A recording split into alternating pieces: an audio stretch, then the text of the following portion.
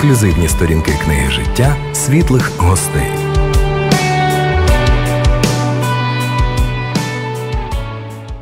может быть вечность с Господом. И когда я выходил из, э, из комнаты, реанимационной комнаты, палаты, я услышал внутри голос. Почему ты его хоронишь? Он еще живой, он не мертв. Знаете, я так задумался, я пришел в вот такое оцепенение, мне стало как-то не по себе. На самом деле он же еще живой. И как раз-таки в воскресенье э, у меня была сестра с синдромом Дауна, я очень люблю и любил, и люблю посещение вот людей, которые с ограниченными возможностями.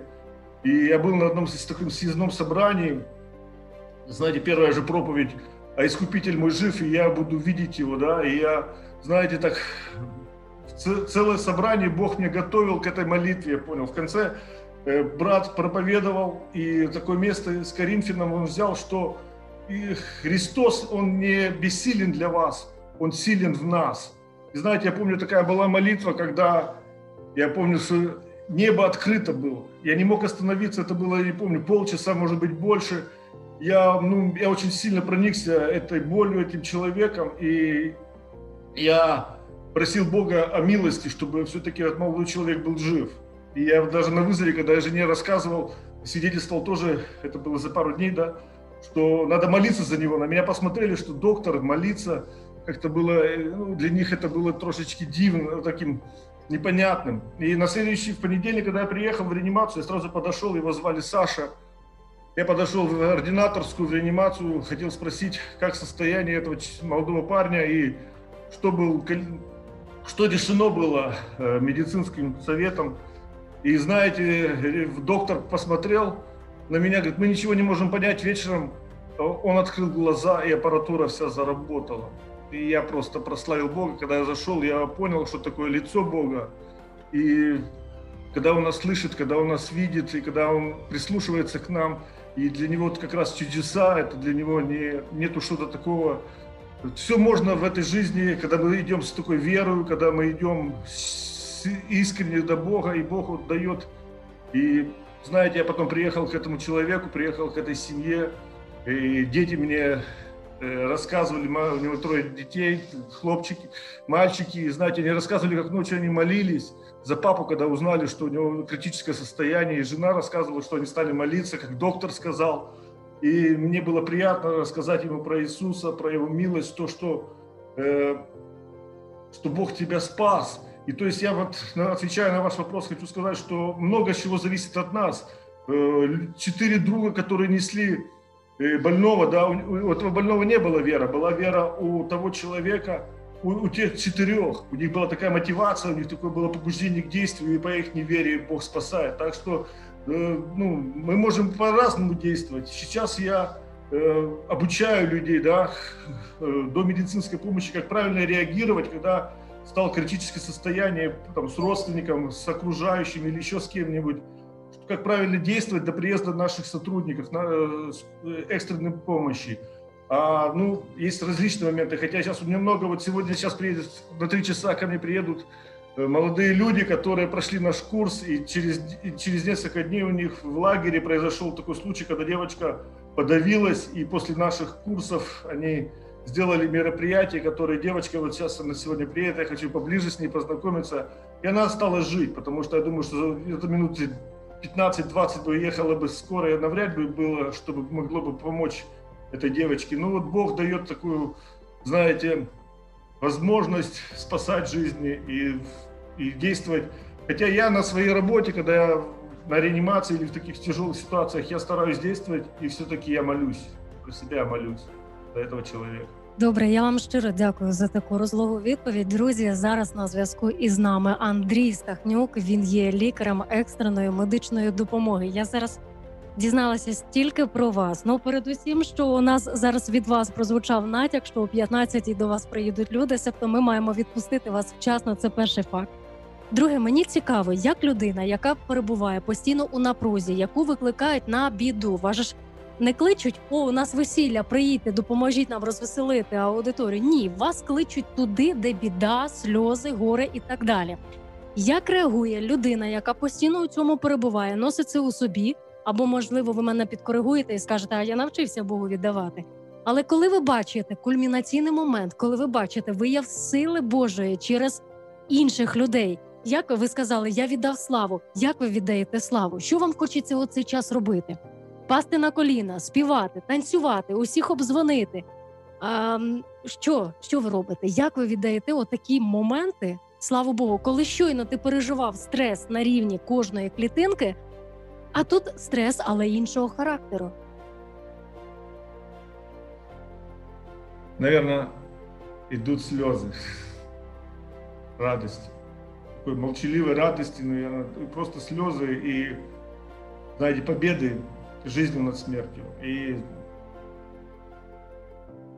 в основном, говорю, я вот в последнее время замечал, что ты просто приходишь в такой мир, в такой такой, спок, такой ну, спокойный мир приходит в сердце и просто радость, и просто катятся слезы, потому что я пережил смерть, я видел, как у меня умирал на глазах отец, у меня умирала сестра на руках у матери, и знаете, вот эта боль, которая была всю жизнь во мне, вот это когда я потерял смысл жизни, хотя я хотел помогать всегда людям.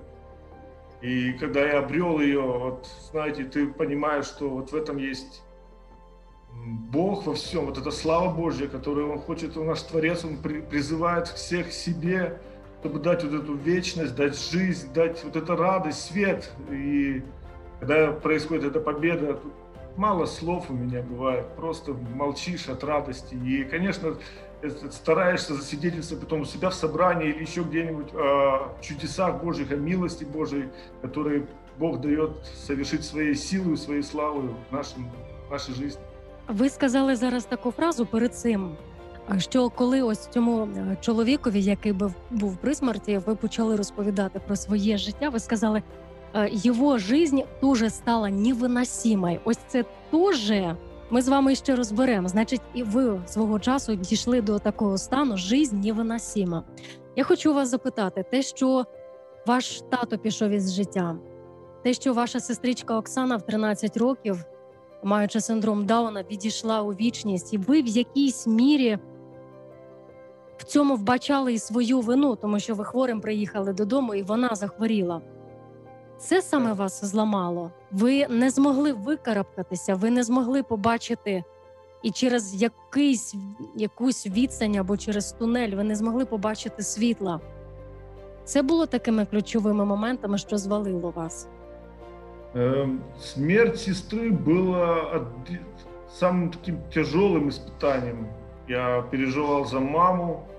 Но я так, знаете, всю жизнь так смотрел, что вот эта смерть, тем более много на работе ее видишь, она вот, знаете, начинала так поглощать твой разум и бессмыслие, то есть, ну, мы все умрем. И вот оно капли за каплей, вот с годом за каждый год оно скапливалось, скапливалось, оно, ну, и ты не давал себе ответа, что дальше. Ну вот умру я, и что я дальше? Я вот приехал на один вызов, я помню его тоже до сих пор, там такие трагические обстоятельства, тоже женщина употребила много специально таблеток, чтобы умереть. И знаете, я, когда мы ее привели, даже, ну, мы все сделали по-медицински, она пришла в сознание, она пришла к жизни, она мне говорит, доктор, зачем ты это сделал? Я так говорю, надо жить. жизни, да? Да, я надо жить. А для чего? Просто надо жить. И знаете, я внутри я выхожу с этого вызова, и сам, для чего я живу, о чем я говорю это, если на самом деле она рассказала страшные вещи, которые произошли у нее в семье, для чего я живу тоже, я себе этот вопрос, он мне постоянно, для чего? Смысл? Все равно мы умрем. Все это, знаете, у меня рухнуло все. У меня друг лучше умер от передозировки наркотиков. У него жена родила ему, в роддоме лежит жена, родила первый день сына, он от передозировки умирает.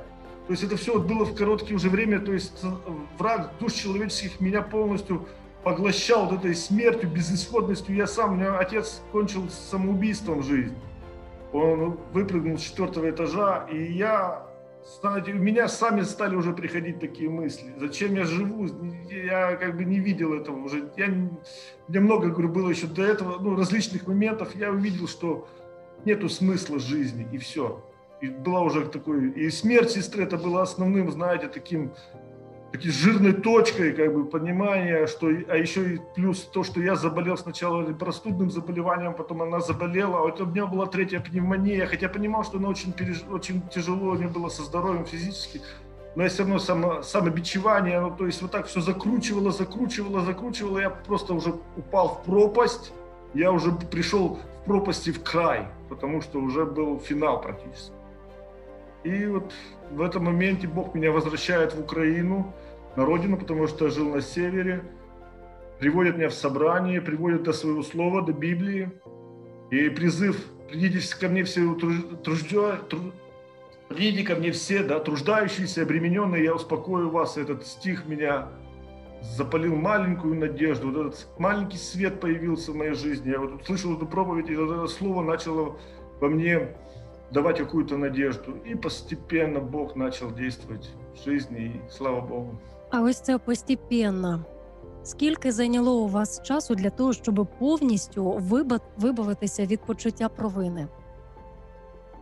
Э, я вам засвидетельствую, это, знаете, Божья милость такая. В 2007 году я попал в собрание, и Бог дал мне покаяние. Я дякую Богу, что я все-таки набрался тогда смелости выйти и попросить Бога прощения. Знаете, это было так чудесно, когда я вышел, пришел, были тучи, так было такое, такое хмурое небо, а когда я выходил, солнце, ни одного облачка, ну, все меня поздравляли, я не понимал, конечно, еще тогда с чем. И через год у нас разбор Библии, один брат трудится, вот, и каждый для алко-наркозависимых людей, вот мы разбирали Слово Божье, и я, у нас есть была такая Гедеоновская Библия, она у меня сейчас в машине постоянно лежит, и она была с Сыктывкара, вот, где мы жили. И я вот как раз, э, мы размышляли о слове, разбирали. И я открываю последнюю страницу, там написано, вот это Гедеоновская такая Евангелие, маленькая, брош... маленькая такого формата. И там написано, я принимаю Иисуса Христа как личного Спасителя, да, осознаю свою греховность. И там была подпись моей сестры.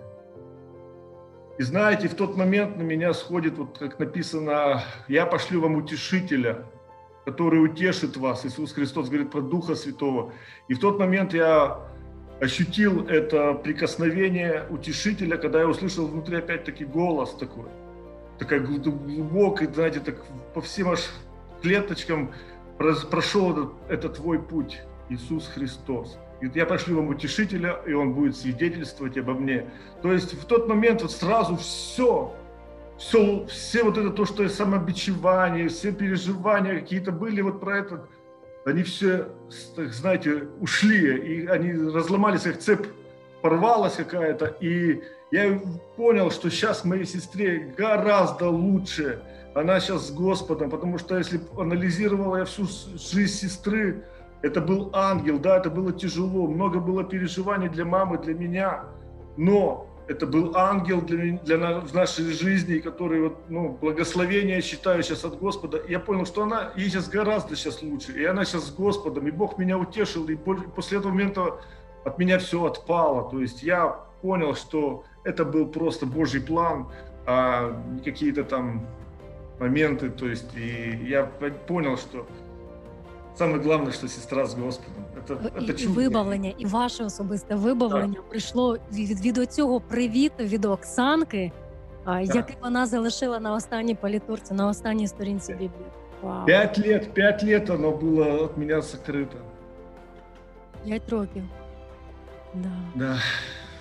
И я, я счастлив, конечно, что Бог дает такие, знаете, такие увидеть такие в земной жизни, да, духовные вещи, то есть почувствовать их, это большое благословение, и я дякую Богу за эту веру. Он наш начальник віри. А от щодо вашої дружини, ви говорите, що дзвонив своїй дружині. Я так розумію, що вона теж у вашій роботі. Якщо ви ділитеся з нею всім, всіми тими чудами і переживаннями, теж значить вона ваш колега і співробітник. Э, это, э, это еще одно чудесное у меня свидетельство есть про жену. Да, я, когда вот в 2008 году, я говорю, Господи, я взял вот эту Библию, она у меня вот такая старенькая, знаете, э, я открыл Библию, вернее, так держу Библию в руках и говорю, Господи, я не хочу грешить, я хочу быть верным Тебе. Я мне, мне нужен человек, мне нужна вторая половинка, которая бы была от тебя. И, открыв, и говорю, дай мне ответ сразу же. Я вот сейчас открою, дай мне ответ. Я открываю Библию, и там шестая глава, 33 стих э, Евангелия от Матфея. Ищите прежде Царство Божие и правды Его, а остальное вам все додастся. Я благодарю Господь, говорю, я все понял, будем искать. И прошло время, у меня были проблемы с освобождением, то есть я был в грехе, алкоголь мне тоже не давал, так я был в пропасти, и не было в некоторые моменты свободы, и за эти годы Бог мне дал свободу, то есть Он мне дал, э, вразумил меня, показал мне, что без Бога я не могу ничего делать, и показал мою эту греховную, гнилую вот эту природу человека, которая гордыня вот это. И Бог мне дал в десятом году уже по вере водное хрещение. И в одиннадцатом году ко мне приходит такое сообщение от одной э, сестры, которая еще работает фельдшером. Ну, это 80 километров, 60 километров от Ровно. И ищи прежде Царство Божье и правды Его. Ось я сначала, Я сначала, знаете, так думаю, так я же, я же ищу, а потом я вспомнил вот это, то, что два года, на, три, почти что три года назад Бог мне вот это показал, этот стих. И мы, я решили встретиться, я пригласил к нам в собрание, и говорю, Господи, я такой молился, и говорю, Господи, если это, если это невеста от Тебя, дай мне знать. Я хочу, чтобы Ты мне дал проповедь такую, чтобы был именно этот стих. И знаете, я пришел, я знаю, где-то э, ее Любовь зовут, она где-то сидит в зале, я говорю, если от Тебя, Господи, я хочу слышать. И знаете, начал проповедовать проповедник, начали молиться, приехали гости из Тернополя, и внутри я услышал голос, голос, что сейчас тебе все скажут. И стоит первый проповедник и начинает проповедовать. И первый, первый говорит, братья и сестры, открываем Евангелие от Матфея, 6 глава, 33 стих. Ищите прежде Царство Божие и правды Его, а остальное вам все дадаться. В этот вечер я сказал Любе, что Бог дает мне тебя как невесту. Она говорит, да, я подумаю. Ты говорю, подумай, сестра, а готовься уже ну, к свадьбе. свадьбе. Да, прошло время, Бог устроил, и сейчас у нас, дякую Богу, трое детишек. Она фельдшер, да, и мы сейчас, она сейчас стала работать, она 8 лет не работала, сейчас она работает, я с ней, да, мы с ней, она мне тоже, как говорится, э, я ее консультирую, подсказываю, она фельдшер, я доктор, у нас целая бригада христианская и скорой помощи, и вот. Серйозно, я про це ще уточню. у вас в бригаді не тільки ви, той, хто вірить, там іще є люди. Да. Я просто сказал про семейную бригаду, как бы, да. А есть, у меня еще есть в бригаде, вот, ну, есть сестры, да, есть братья. У нас, а вообще, то есть, вот сейчас я сейчас еще являюсь заведующим учебно-тренировочного отдела нашего экстренной помощи, да. Также у нас еще есть громадская организация, где я сейчас э, директор громадской организации. У меня мой правая рука, мой лучший друг, да, это просвитер он. Э, то есть Никола, он фельдшер, то есть у нас четыре брата вообще, то есть и, ну, я думаю, что, то есть у нас, мы стараемся, ну, бывает, Бог такие дает вот именно, знаете, я замечал, что бывают такие моменты, такие дежурства, что вот именно мы с сестрой много свидетельствуем на, на вызовах, было такое, ну... Що, можна? Бог... Можна а? свідчити, можна свідчити іншим? під час робочого процесу? Конечно. И да вы что, я сейчас у меня вот ну, это милость Божья, Бог мне как-то учил меня, тоже показывал, и сейчас я был, приехал на один вызов, а до этого Бог мне показал, что э, ты не стесняйся меня. Кого, говорит, кто постесняется меня, того постыжусь я перед Отцом Небесным. Это было таким, таким, а, а, таким стрясочка для меня, знаете. И вот я приехал на вызов, я начал, видел этого человека, который был уже в критическом состоянии, тоже он умирал, он само, самоубийством хотел, и он сказал мне точно, что если доктор, вы меня сегодня не заберете на реабилитационный центр, я это точно сделаю, я ему, потому что засвидетельствовал за свою, всю свою жизнь, и он цеплялся, я вижу, что он, ну, хоть и не верил, что переживал, что жена разведется, потому что его наркотики довели его.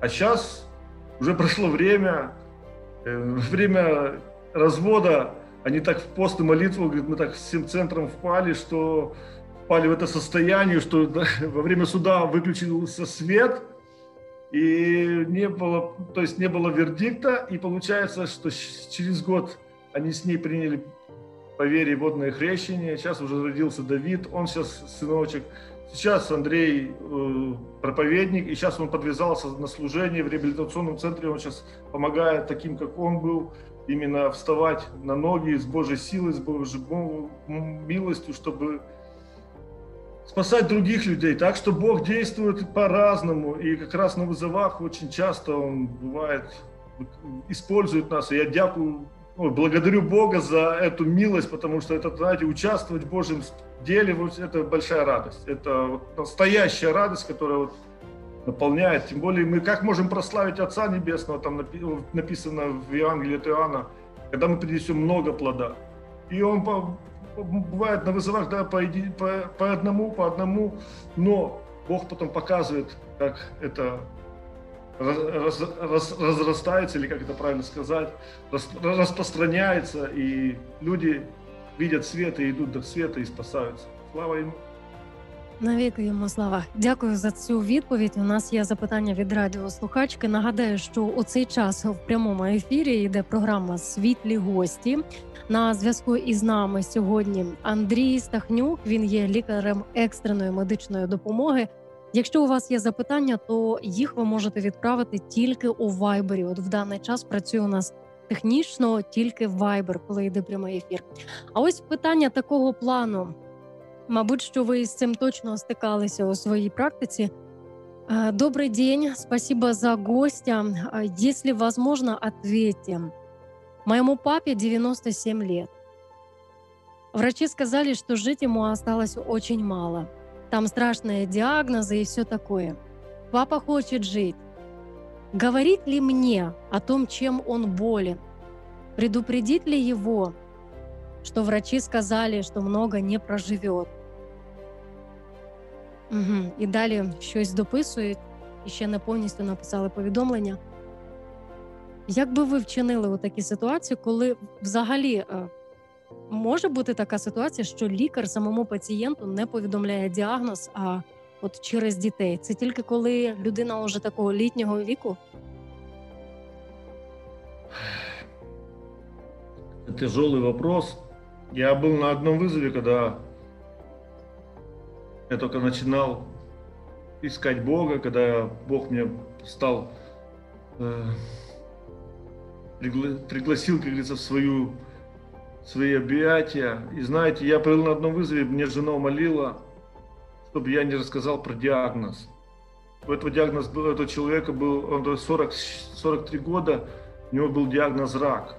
И он думал, что у него простудное заболевание, что у него пневмония, может быть, или еще что-то, я не знаю, что он думал. Я пытался, она, в чем была сложность этого вызова, то, что эта женщина после того, как она узнала диагноз, она побывала в психиатрической больнице. Мне было очень жалко ее тоже. И знаете, я просто, она меня попросила сделать тоже ей укол, там, чтобы она успокоилась. И знаете, я долгое время потом себя вин, ну, не то что обвинял себя, но я мучился.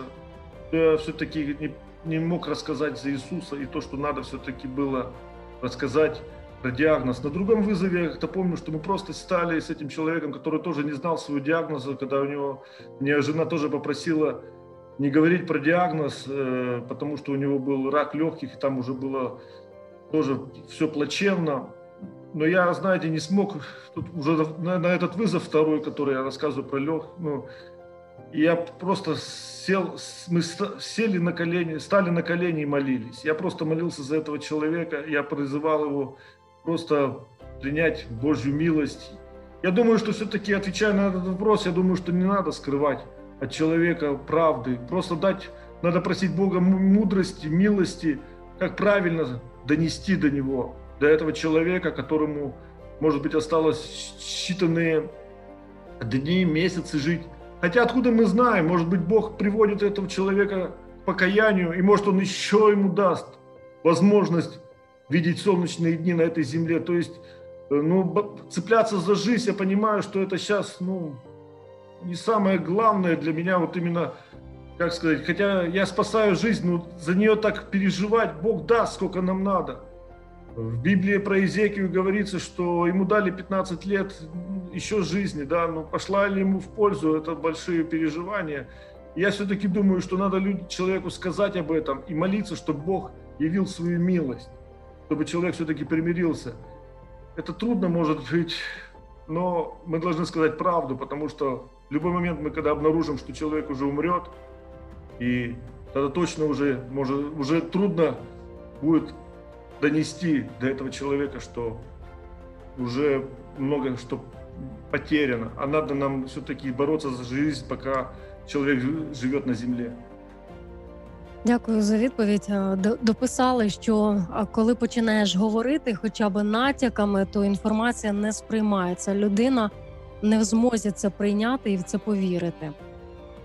Але ви до того, щоб сказати так, як є, і щоб людина готувала своє серце. Так. Я, да, просто надо просить Божьей, вот знаете, чтобы Бог дал нам мудрости, чтобы это не было как-то... Можно любую, я думаю, информацию по-разному принести, при, при, при, передать, а знаете, а самую, самую серьезную информацию надо очень, как говорится, такую несколько раз взвесить и перепро... Я думаю, что вот чтобы Бог говорил через нас, чтобы Бог сказал это. И болезнь, я для себя все равно вижу, что вот болезнь это лучшие времена, как пишет Библия, хотя тут много я читал проповеди, много литературы про это, ну, много статей.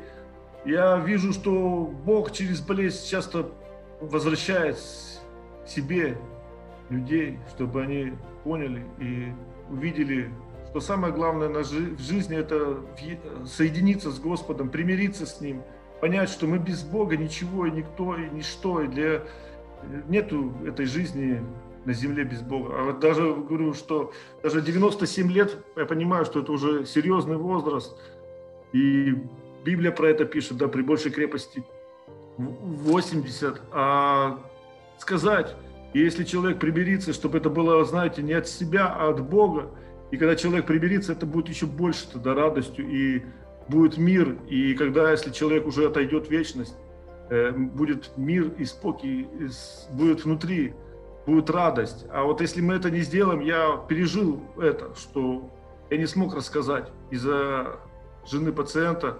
Я для, для себя сделал большой урок, что нам надо так сказать, нам надо так сделать, чтобы все-таки человек мог все-таки задуматься о том, что жизнь кончается, и остались, может, последнее, последнее время, последние дни. Добре, дивлюся на годинник і знаю, що вас треба відпускати. Останнє запитання. Я за останній період зустрілася із двома людьми, які мали абсолютно протилежні думки щодо смерті.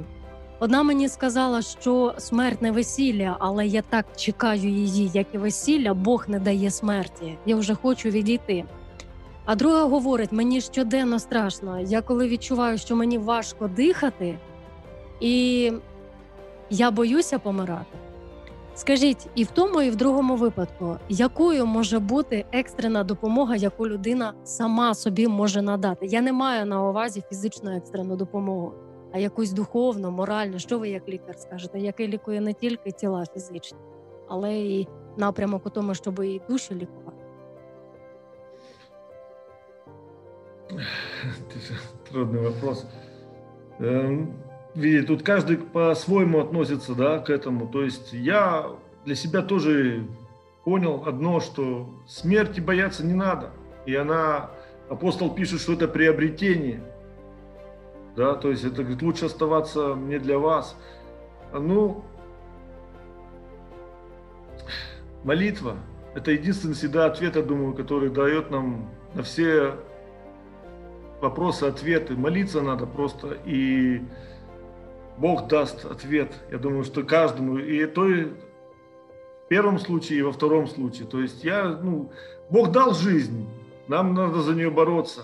Но я, например, для себя понял, что я смерти уже не... Когда мы находимся в должном состоянии, смерть, она не страшит, она... Апостол там пишет, что если вы, говорит, нету, воскреш... нету воскрешения да, из мертвых, то такой прослеживается для меня, что оттенок, что люди боятся вот этого, как-то подойти к этому. И говорит, вы еще во грехе. И то есть получается, что мы еще где-то, может, мимо цели, мимо Иисуса где-то проходим. Это когда мы боимся смерти. Ну, а может быть, не хочу как-то, как правильно сказать, не хочу обидеть этого человека или еще что-то, но я думаю, что смерть, так же, как и рождение, это переход, это что-то лучшее, и когда мы живем с Богом, когда мы, это только переход, и это новая жизнь э, с Иисусом, то есть это радость. Но у нас на земле много еще дел, которые надо много людей рассказать про Иисуса, и чтобы они повернули свою жизнь именно к Богу, чтобы мы вместе могли радоваться уже там, в небесах. Ми залишимо ось тут нашого радіослухача із роздумами над цією фразою «Не пройти мимо Ісуса.